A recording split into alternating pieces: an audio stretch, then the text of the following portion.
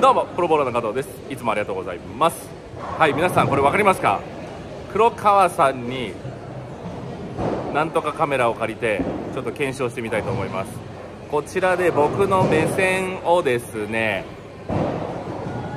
お見せしながら投球したしてみたいと思います。ということで早速投げてみます。はい。まず1目を見て構えます。そしてポケットからフッキングフッキングからスパッとスパットからフィニッシュの位置。そこを確認してから投球します。歩いあーカメラに当たっちゃった手が。立ち位置18枚目。僕は左足の親指のこのここで数えてます。はい。18枚目に立ちます。縦の距離は自分の距離で合わせてください。でポケット見ます。ポケットフッキング7枚。41フィートぐらいのところで7枚。そしてスパット14枚。フィニッシュ25だから球がそれより5枚ぐらい右から出るんで20枚から14狙う感じです。いきます。はい。目の前にカメラがあるんでちょっと見づらいですがいきます。ちょっと左に歩きすぎた。はい。ちょっと出ちゃったんじゃないでしょうか。手前から出過ぎちゃったかもしれないです。もう一回行きましょう。はい。投球してスパッと14枚目通過をしております。帽子に手が当たらないようにちょっとね頭動いてるんですけどはい。そしてフッキングやはり41フィート地点で6枚目ぐらいだと思います。出過ぎてしまったので戻りきらずに薄めで天品タップ。というような感じだと思います。もう一度いきます。はい。ボール拭いて。はい。構えます。構えるじゃない。立ちます。そしてポケット見て。フッキング見て。スパッと見て。フィニッシュの位置まだこの時指入れてないですからね。で初めてここで指を入れてフィンガー引っ掛けて親指入れます。であとはもう14枚目だけ見てスパッと14ですね。いきます。どうでしょうか？まあまあ14ちょっとまだね手前から出てる気がするんですけどこんな感じです。いつも見方としてはこんな感じです。はいもう一度秋ドライブ4です。やはりこちらもスパッと14枚目取っておりますね。そしてフッキングが先ほどよりも内側7枚で止まったのでしっかり戻ってストライクになったということだと思います。はい。じゃあもう一度ちょっと違うボールでスーパーマジョリティでいきたいと思います。曲がりが違うのでこっちは16枚。はいそしてポケット。フッキング。こっちはね多分ね6ぐらいでまで出ちゃうかもしれないです。767で12枚。いきます。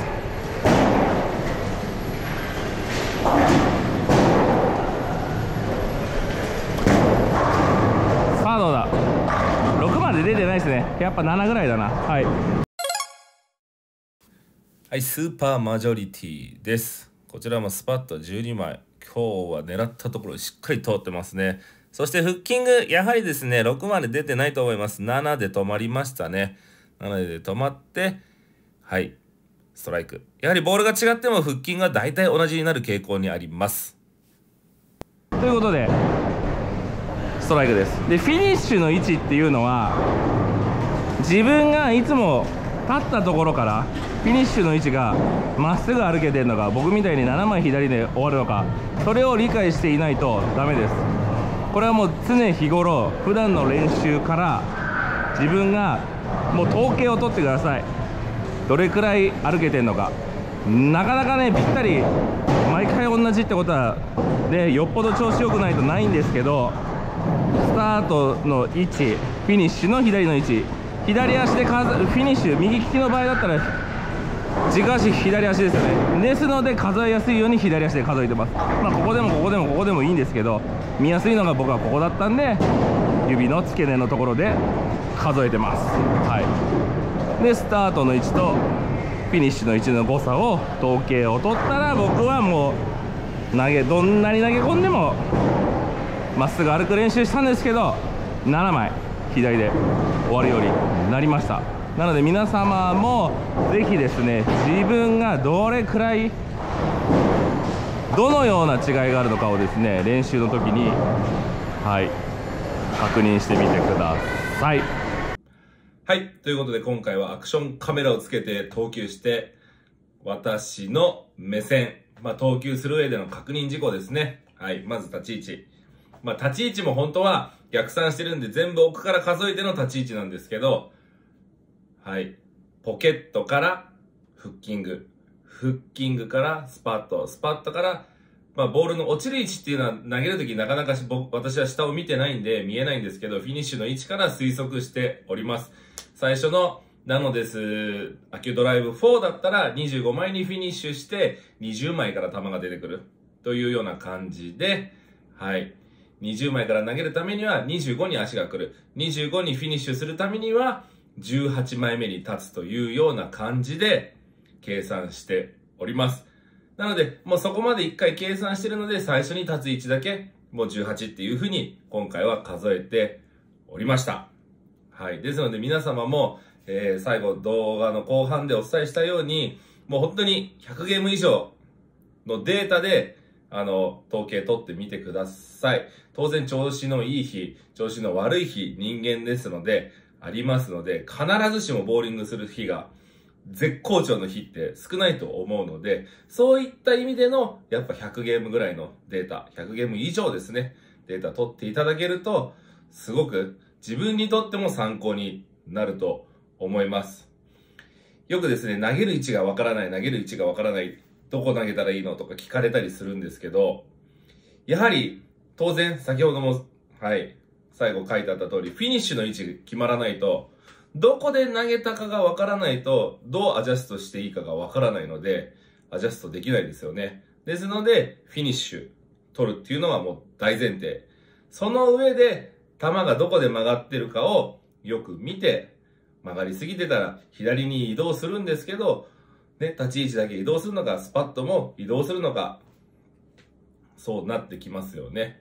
また曲がらなければ右にね、セオリーだったら移動すると思うので、立ち位置だけ右に移動するのか、もう全体的に移動移動するのかっていうのを、もう全部、フィニッシュが止まってボールの動きを見れないと、アジャストできません。また、ボールの動きだけ見てても、自分が実際どこで投げたかっていうのがわからないと、アジャストできないですよね。ですので、もう最低限です。はい。フィニッシュ止まるっていうのは、ボーリングする上、アジャストする上でとても重要なことだと思いますので、ちょっとそこを心がけてやってみてください。もう本当に昔の動画でもお伝えしたんですけど、プロボーラー何人にも聞きました。リリースする瞬間、どこに一番力入れてますかと聞いたら、やはりですね、軸足に力入れてる方がもう大部分でした。9割軸足だったんじゃないでしょうかね。はい。軸足やお腹。はい。それでやっとこう、腕みたいな、腕っていうか、指というか、はい、ボール周りのところに来るので、それほどやっぱ球を投げる、転がす動作に必要なのが、軸足の力加減というか、止まり具合だと思いますので、はい。やっぱりね、強い球投げたいと思って腕ばっか意識してしまうんですけど、そうではなく、まずは土台を固めることをお勧めします。はい。そうすると、今日言ったように奥から逆算して計算しやすくなりますので、ぜひやってみてください。ということで、少しでも参考になれば幸いです。また次回の動画でお会いしましょう。ありがとうございました。YouTube 見てね。